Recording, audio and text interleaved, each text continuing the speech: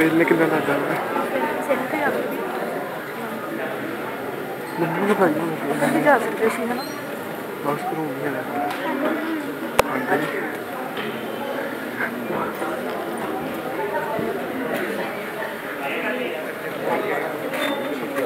तो बोलिए